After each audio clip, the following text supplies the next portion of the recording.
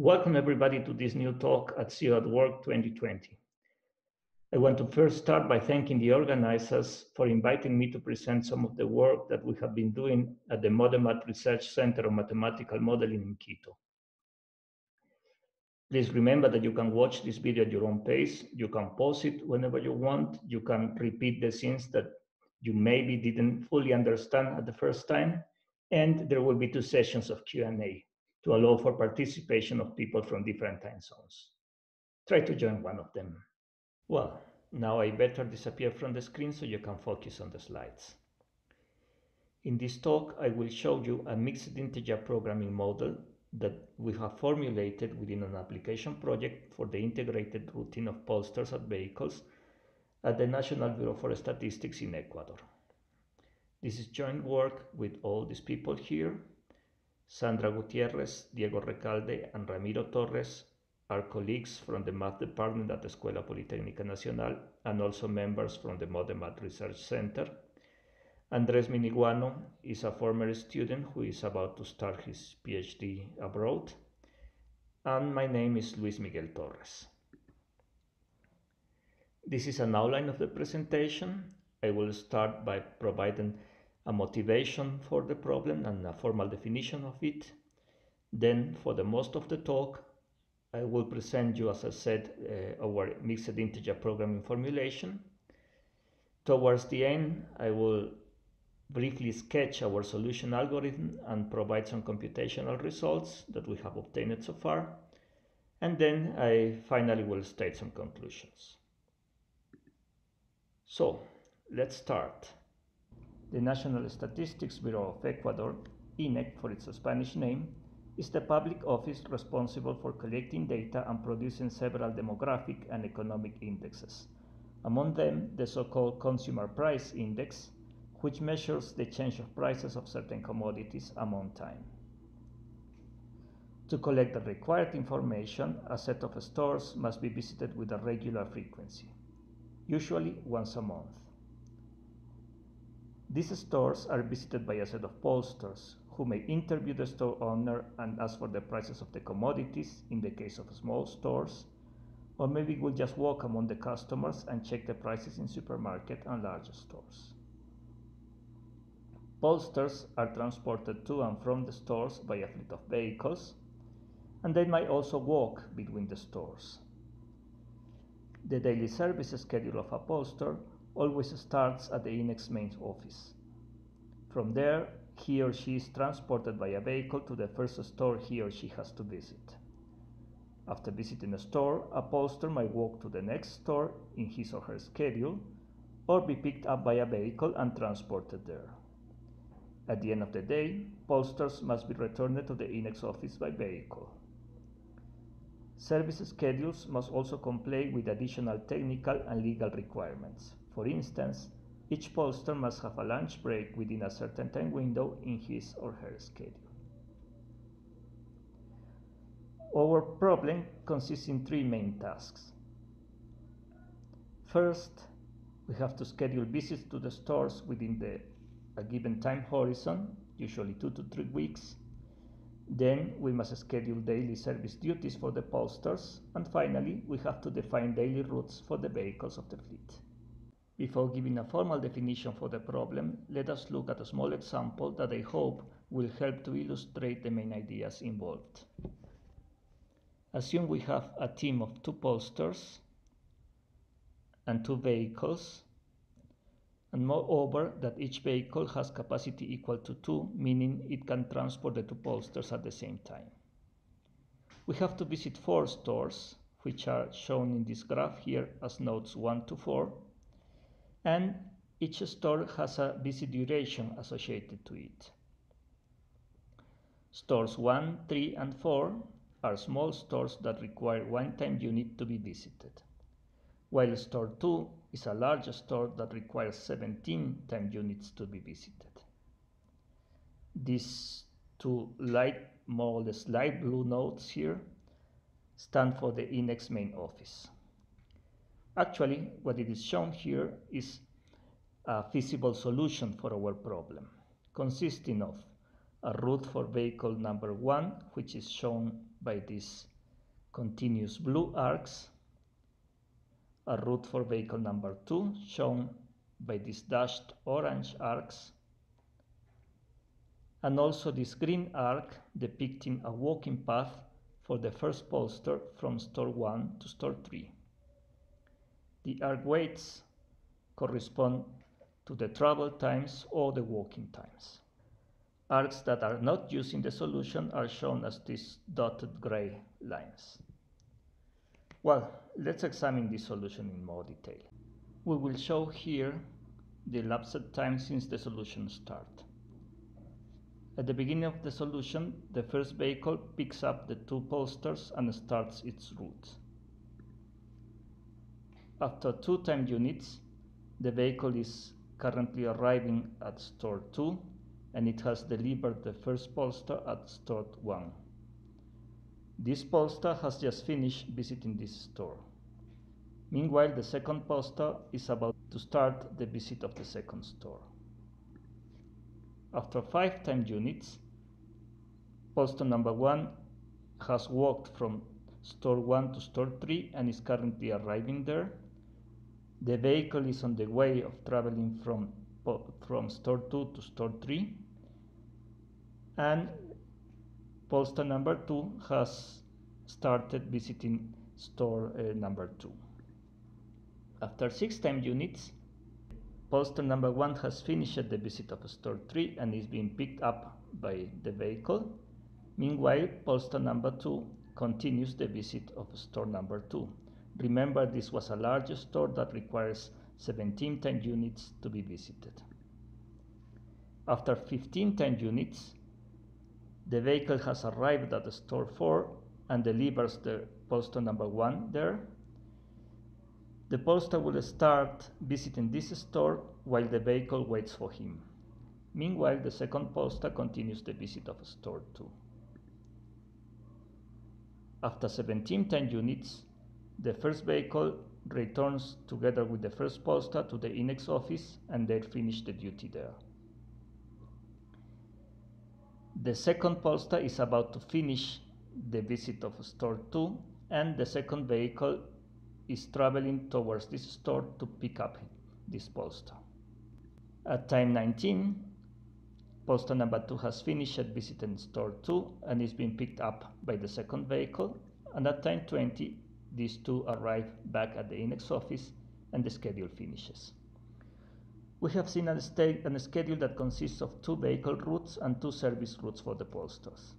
Moreover, the service routes involve transportation by vehicles, visiting of stores, and also walking probably between stores.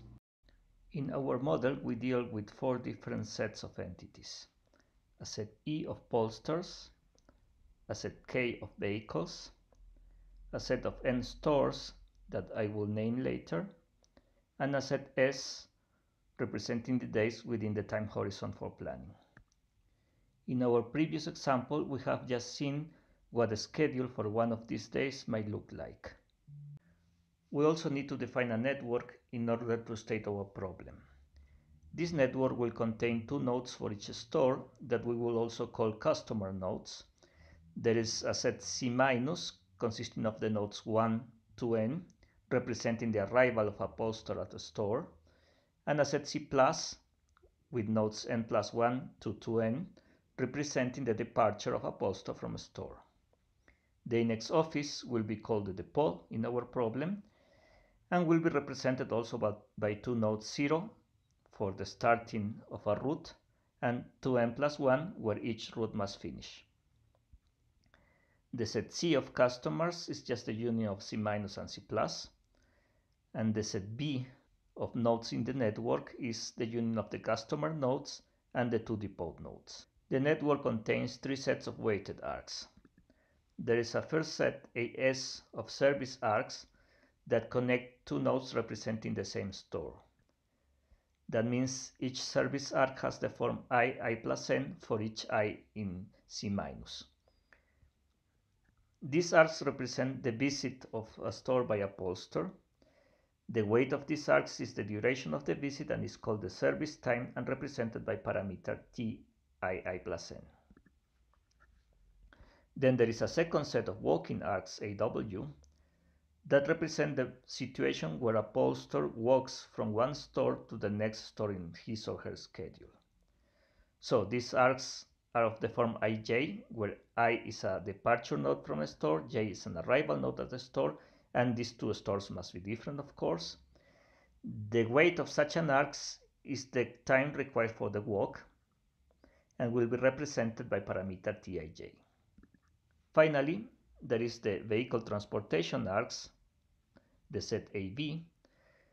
These contain arcs connecting all uh, customer nodes and arcs leaving from the starting depot to each customer node and also arcs returning from each customer node to the returning depot.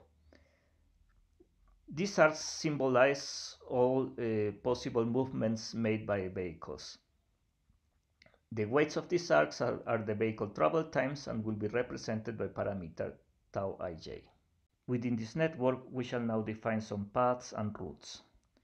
A walking path for a pollster is a simple path from a node i in C- to a node j in C+, with alternating arcs from the set of service arcs and the set of walking arcs. Such a path will start with the service arc i to n plus i, then it will continue with a walking arc from M plus i to the rival node of a second store, then the service arc of that store, and so on. A vehicle path is a directed path between two nodes in B using only vehicle transportation arcs. Then a service route for a pollster is a directed path from the starting depot 0 to the returning depot 2n plus 1, consisting of an alternating sequence of vehicle and walking subpaths that must be connected to each other. A vehicle route is a vehicle path from the start depot 0 to the returning depot 2n plus 1. The duration of any route is just the sum of its arc weights. And finally, a service route will be called feasible if it does not exceed a maximum allowed duration, including time for a lunch break that must take place in a certain time window. Service routes and vehicle routes are integrated into daily schedules in the following way. At first, Observe that vehicles may pick up and deliver pollsters to certain stores, while at the same time pollsters can share the vehicles for the transportation.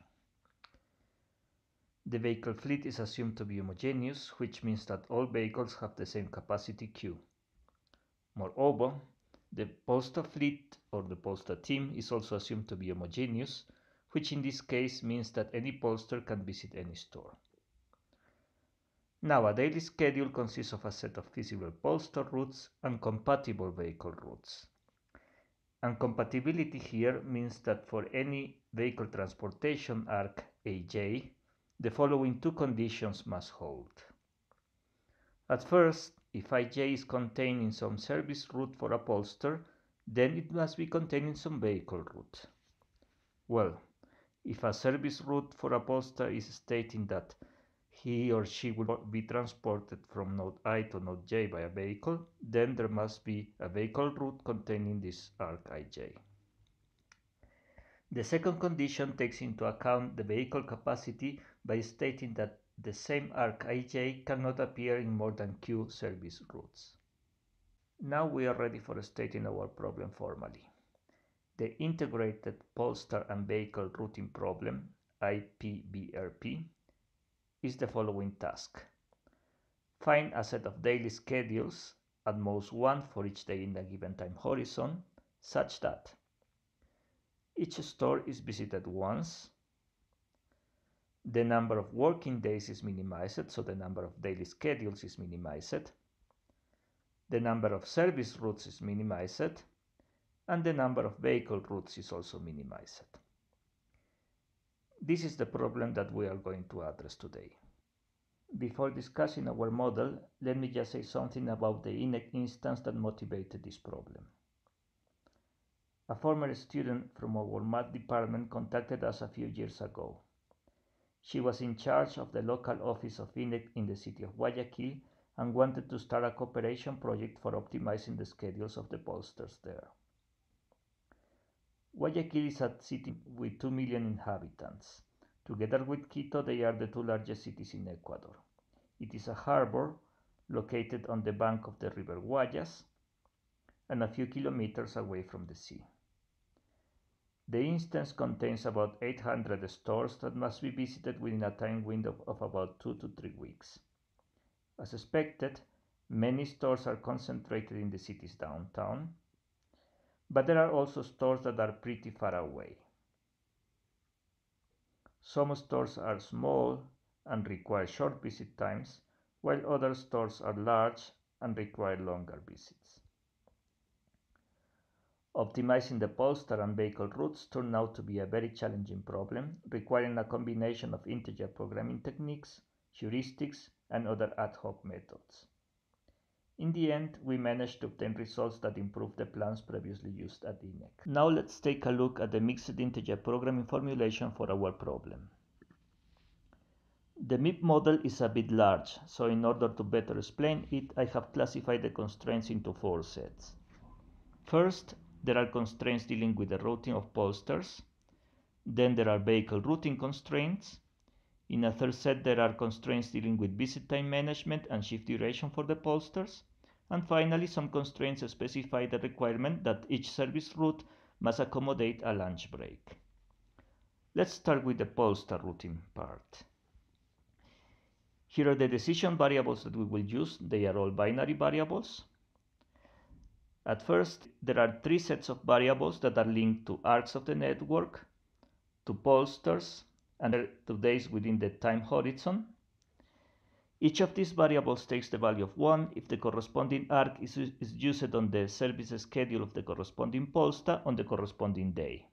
So for instance, xi i plus n es equals to 1 if pollster e visits store i on day s, xij es equals to 1 if e walks from node i to node j on day s, and similarly zij es equals to 1 if pollster E is transported by a vehicle from node I to node J on day S. Then there are two sets of variables here in blue that mark the start and the end of walking paths within service route of pollsters. So for instance, BIES equals to 1 if node I is the start of a walking path for pollster A on day S, and similarly FIS equals to 1 if I is the end of a walking path for E on day S. And finally, there is one binary variable for each day in the time horizon that specifies whether this day S has a daily schedule assigned to it or not. These are the pollster routing constraints. They can be classified into five families that are shown here with different colors. Let's start with these purple constraints. They specify that each store must be visited by one pollster on exactly one day.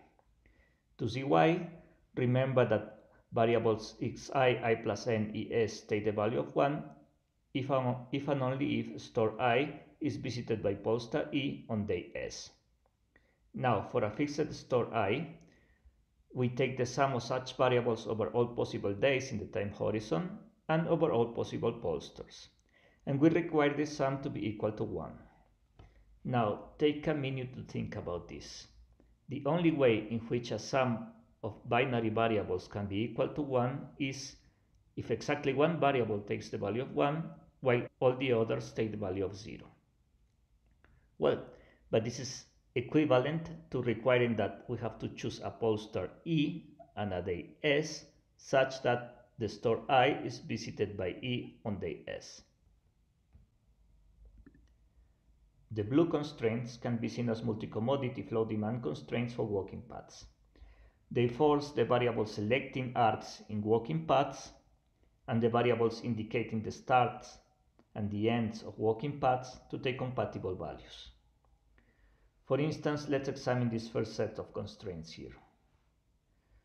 For any node i in C minus, any pollster E, and any day S, one of three possible cases may take place. First, this variable may take the value of 1, in this case, the only possible way to fulfill the constraint is that this variable takes also the value of 1, while each of these variables takes the value of 0. That means we mark node i as the start of a walking path, we select the service arc from i to i plus n, and we do not select in the path any arc entering node i. As a second case, this variable can take the value of 0, and this variable can take the value of 1. In this case, one of these variables must take the value of 1, while the others take the value of 0. This means we do not mark i as the start of a walking path. We select in the path the service arc from i to i plus n, and we also select some arc entering node i. Finally, if these two variables take the value of 0, then each of these variables must also take the value of 0. And in this case, node i is just not part of, the, of a walking path for pollster E on day S. As an exercise, try to repeat a similar argument for the second set of constraints. The green constraints can be seen as degree constraints for vehicle transportation. They forbid selecting vehicle transportation arcs in a service route for a pollster if they do not connect properly to walking subpaths. To see this, let's examine the first set of constraints. Again, for a node i in C minus, a pollster E, and a day S, we may have three possible cases. First, assume this variable takes the value of 1. Then node i is the start of a walking path and the previous set of constraints requires that the service arc from i to i plus n must be selected in the path. So this variable also takes the value of 1 and both cancel. The constraint specifies that at most one of the vehicle transportation arcs entering node i may be selected in the service route. As a second case, assume node i is not at the start of a walking route, so this variable equals to 0.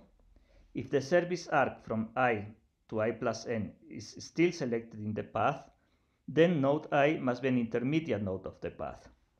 In this case, this variable takes the value of 1. The right-hand side of the inequality evaluates to 0. And selection of any vehicle transportation arc entering node i is forbidden. Finally, assume that both variables take the value of 0, so i is not a part of, the, of a walking path for e on a day s. In this case, at most one vehicle transportation arc may still be selected. This is all right since the pollster E may be traveling in a vehicle that delivers another pollster to node I. similar reasoning holds for the second set of constraints. Try it. The red set of constraints are multi-commodity flow constraints for vehicle transportation variables. They force variables selecting vehicle transportation arcs and variables indicating the starts and the ends of walking paths to take compatible values. Let's examine the first set of constraints for a given node i in C minus, a given pollster E, and a given day S. Remind that the previous set of constraints requires this sum here to be less than or equal to 1. So, if i is the start of a walking path, then this variable must take the value of 1. And in this case, the constraint states that, that this sum must be equal to 1 and this sum must evaluate to 0. That means we must select exactly one arc from the vehicle transportation arcs entering node i, and we may not select any arc leaving node i.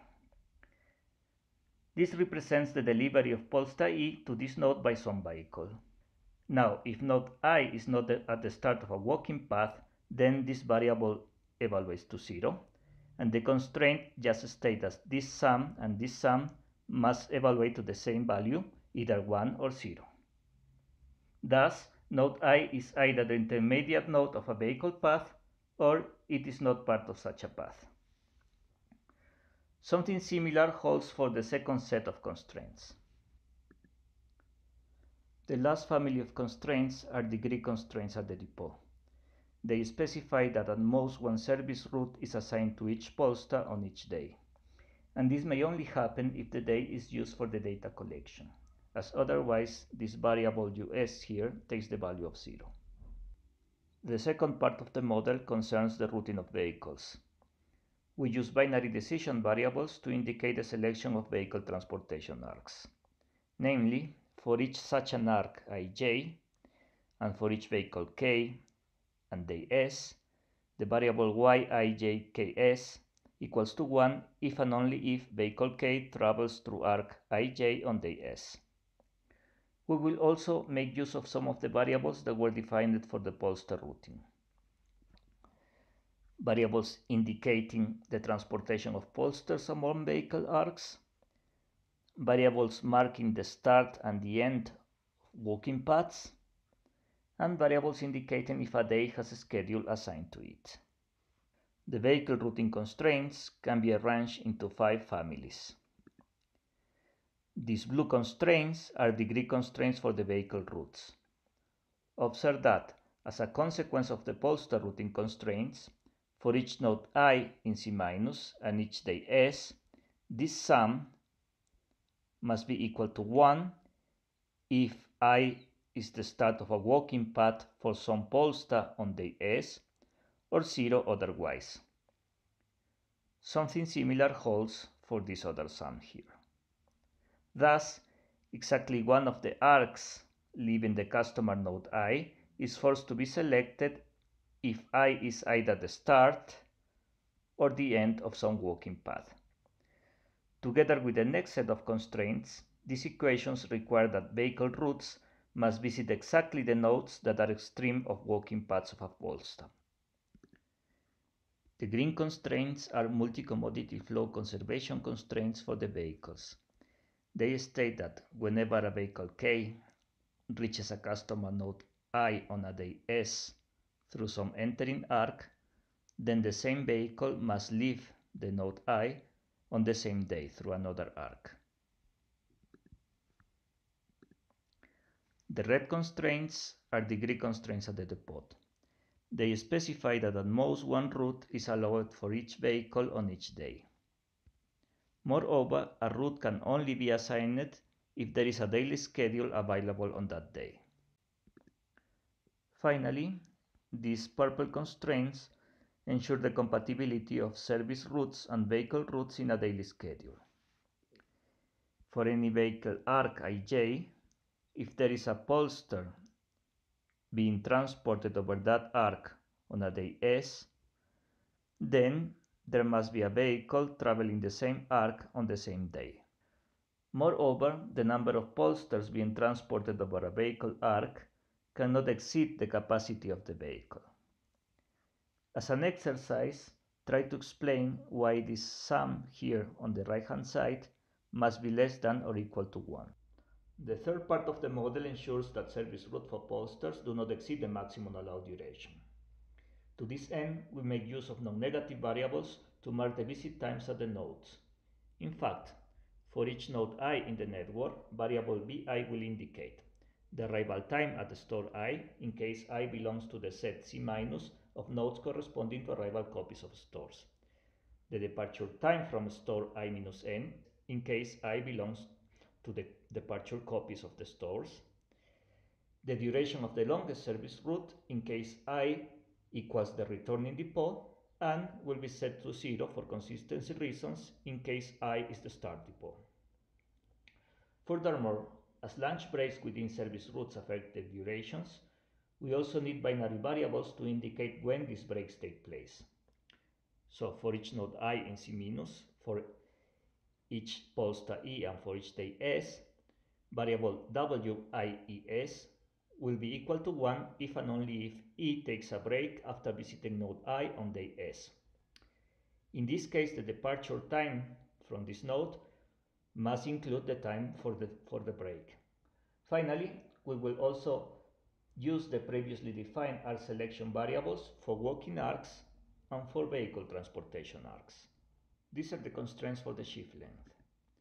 The blue constraints specify that the departure time from a store is at least the arrival time at the store plus the duration of the visit plus possibly the duration of a lunch break. As we shall see in a few minutes, this sum here equals to 1 if the pollster assigned to visiting node i takes the lunch break immediately after the visit, or equals to 0 otherwise. The green constraints account for walking times between consecutive stores in a service route. There is one such constraint for each walking arc. Whenever arc ij is used in a walking path for some pollster on some day, then this sum here equals to 1, this term disappears, and we have that the arrival time at store j is at least the departure time from store i plus the walking time from i to j. The constant m here is a sufficiently large positive number such that when the sum equals to 0, then this term minus m makes the right-hand side of the inequality negative and therefore the constraint becomes redundant. Constraints of this sort are known as big M constraints and are a commonly used modeling technique in so-called arc-based models of vehicle routing. With a similar approach, red constraints account for vehicle transportation times within vehicle routes. Whenever a vehicle transportation arc ij is used by some vehicle, then this constraint states that the visit time at j is at least the visit time at i plus the travel time from i to j. Observe that if j equals the return depot to n plus 1, then the arc ij is the last arc of some route and b to n plus 1 must be at least as large as the duration of this route. Since every route finishes with an arc entering the return depot, it follows that b to n plus 1 is at least as large as the duration of the longest route in the schedule. Finally, we have these two constraints here. The last constraint just sets the value of b0 equal to 0 for consistency reasons, while this constraint implies that the duration of the longest route in the schedule cannot exceed the maximum allowed duration for a route. The last part of our mixed integer program concerns the modeling of lunch breaks for pollsters. Three families of inequalities are used with this purpose. The first set of inequalities ensure that each lunch break starts within the prescribed time window from T0 to T1. In fact, remind that variable WIES takes the value of 1 if pollster E takes a lunch break immediately after visiting store I on day S. Moreover, as I told you before, we will show that this sum and this sum over here equal to 1 if the pollster assigned to visit store I takes a break immediately after the visit or equals to 0 otherwise. You can now check that in the first case, these two constraints require the visit of store I to end within the time window T0 to T1, while in the second case, the constraints are redundant. Pay attention to the big M technique here. The blue constraints guarantee that service arc selection variables and break selection variables take compatible values. Observe the form of this constraint. We have two binary variables related by, by a less than or equal operator.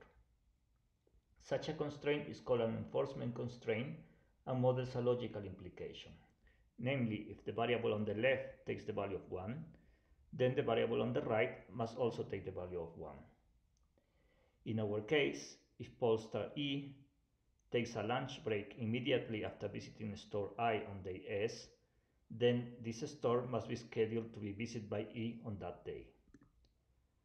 Finally, these green constraints require that each service route for a pollster must include exactly one lunch break.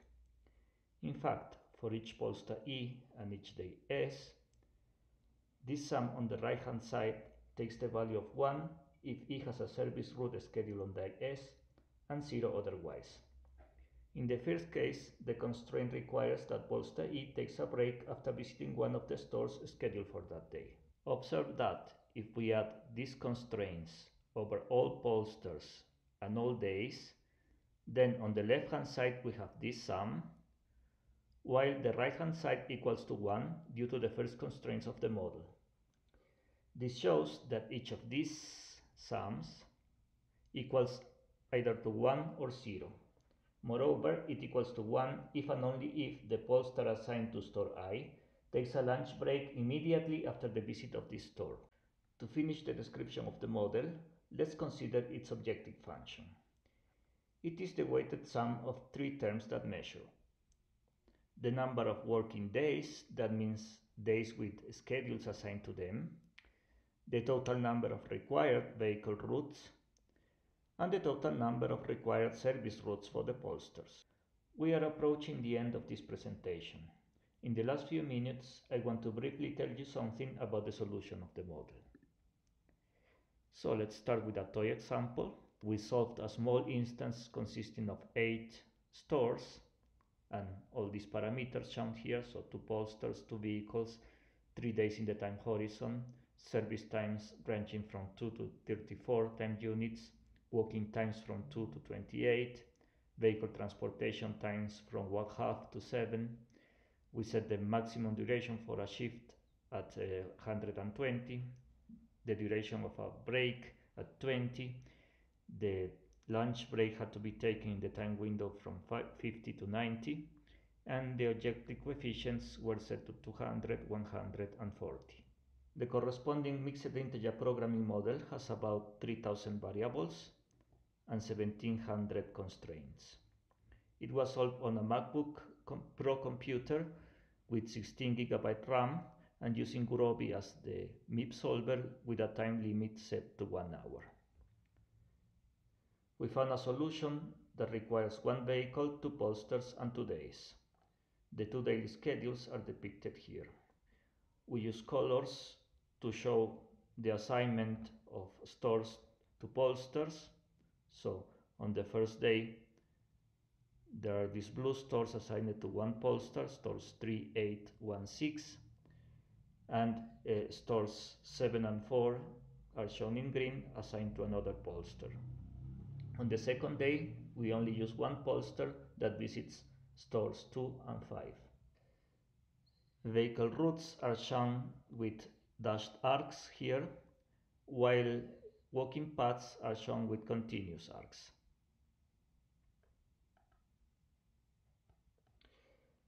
For simplicity, we have not depicted service arcs here and show only one node for each store.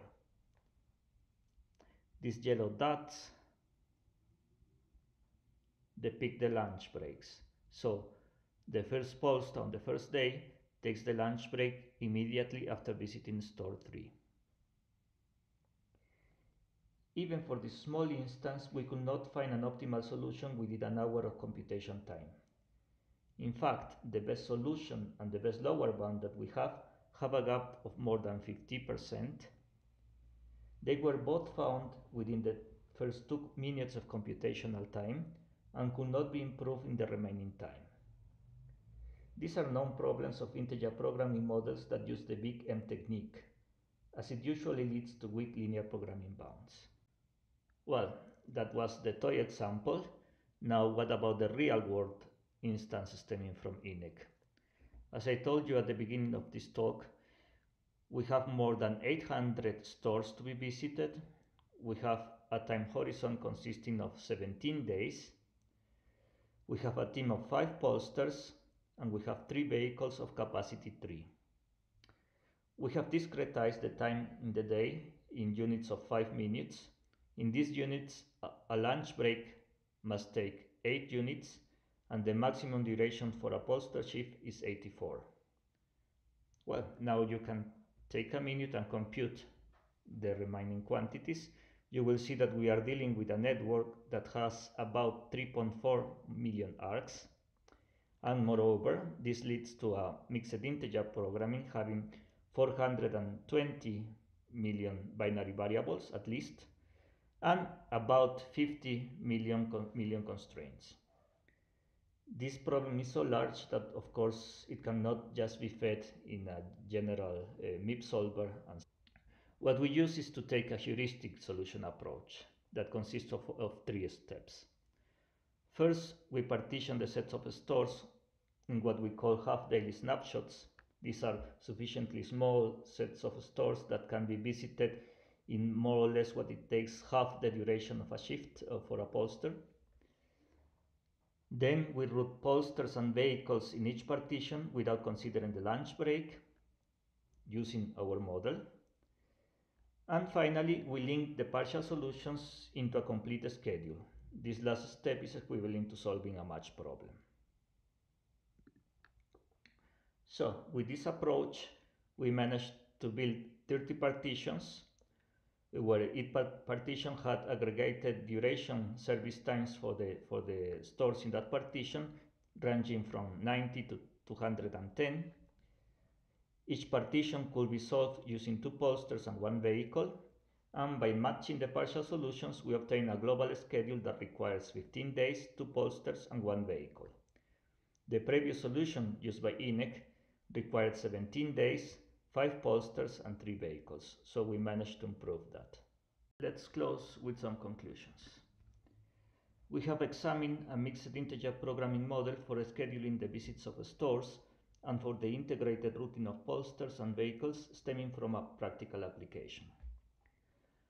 Our model is hard to solve even for small toy instances, and nevertheless, we managed to solve the original practical model using a three-phase solution approach that consisted in partitioning the stores into half-day instances, solving these instances with our model, and finally matching the routes into a complete schedule.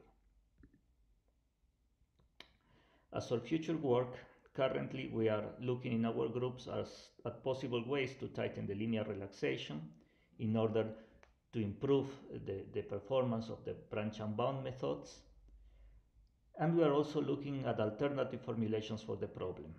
For instance, there are the so-called column-based or route-based uh, models for, for vehicle routing problems, which basically consist in having more or less one decision variable for each uh, possible route.